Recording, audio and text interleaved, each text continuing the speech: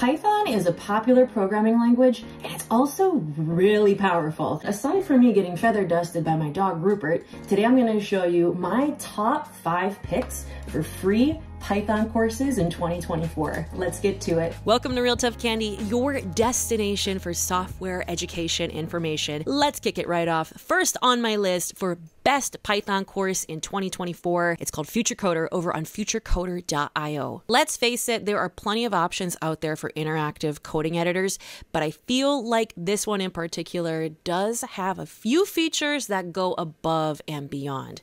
Now, aside from the fully immersive and interactive coding environment, you get some debuggers, enhanced error messages, and then we get to the really good stuff, the stuff that kind of activated my inner call stack. In this context, if you're having having a problem with the problem, can't figure it out, and you're stuck, exhausted all the hints, you can try putting the shuffled solution in the correct order instead. So you're getting the answer, but you're also working for the answer. And I thought that was really cool. I have not seen the Parsons problems implemented in any other platform. They may be out there, but I haven't seen them. The other thing I really like too are the solution breadcrumbs.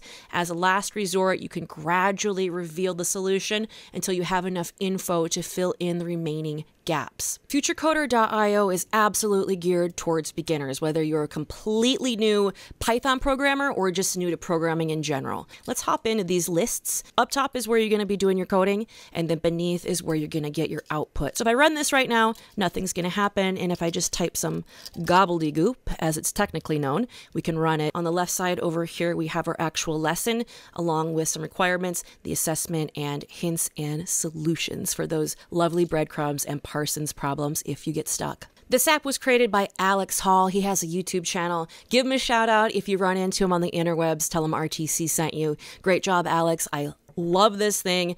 It has everything I'm looking for in an interactive coding environment, as well as just a general educational environment. Next on my list of best free Python courses is CS50's Introduction to Programming with Python. Those spidey senses and those antennae might be raising and getting a little activated right now because CS50 is a product of Harvard.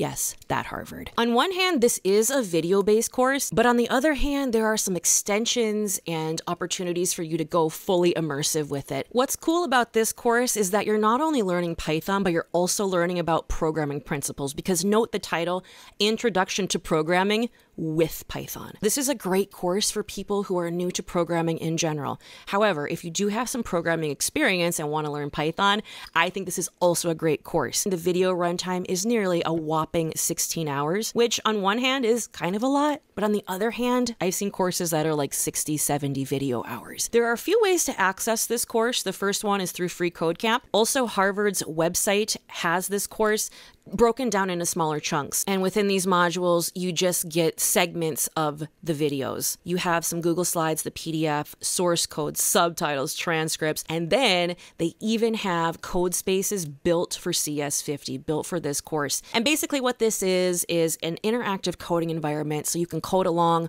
or pause the video and try it out yourself. Codespaces is free for the first 60 hours of use. Third on my list for best free Python courses is brought to us by Free Code Camp and Kylie Ying. She's going to be showing you how to construct 12 Python projects. What I like about this course is that it's project packed, as you can see by the title. The other thing I really enjoy about this course, too, is the instructor, Kylie. She's really engaging. You can tell she took a lot of time to construct this course, and she's not putting you to sleep. At the same time, it's not fluff, like you're actually doing 12 Python projects. Some of the projects you will be doing include Mad Libs, Guess the Number, Rock, Paper, Scissors, Hangman, Tic Tac Toe, Binary Search, Minesweeper, and a few more. Markov Chain Text Composer. Ooh, yeah. They do give the disclaimer it would be helpful to have a bit of Python knowledge before starting this course. Really fun course here and 12 Python projects under one roof. I mean, come on. Number four on my list for best free Python course is called simply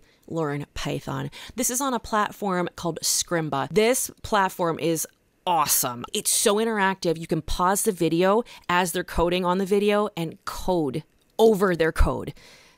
Right? I know it's it's freaking cool. This is a beginner friendly course as well. It's 58 parts. Since this is a beginner friendly course, not really a lot of surprises going over the curriculum. Print statement with program flow, variables, data types, and typecasting, going down to user inputs and lists, split and join, sets and exercises, functions, while loops, even going over some Lambda functions, and even getting into some projects down here a crypto machine, math tutor, a trading game, and more. Popping in to the data types and typecasting lesson, this is actually a video player right here. So let me play it for just a second.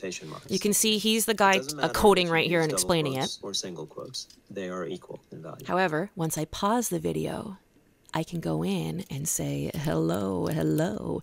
And it takes my input like what? And now I can run it. Sorry to geek out so bad here. I'm mashing the keys and I couldn't be more pleased about it. Really fun and really engaging. Again, this course is simply called Learn Python on scrimba.com. Number five on my list. Definitely not beginner friendly. Definitely a mind blower for my advanced programmers. This one's called Mastering Algorithms for Problem Solving in Python. This is on educative.io. Now, they say it's intermediate.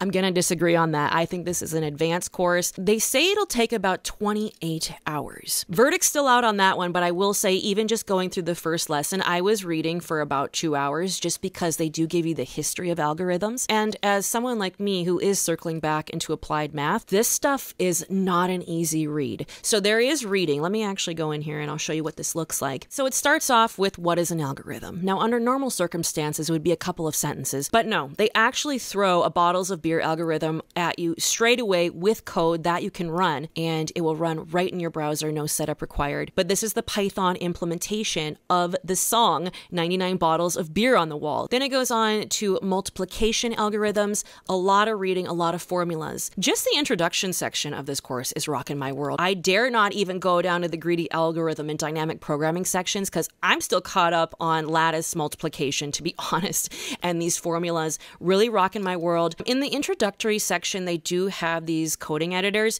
You can run the code, you can save it and reset it. There are also periodic assessments in this course. So after the first five chapters, they throw a 30 minute or so assessment on you. And then they go to the basic graph algorithms, depth first, search, minimum spanning trees, shortest paths, all pairs, shortest paths, and then a course assessment. And there you have it for 2024, my top five picks for best free Python courses developers. I hope this video was helpful. If it was, do me a favor, smash that thumbs up button. I'm RTC from Real Tough Candy, your destination for software education information, and I'll see you in the next video.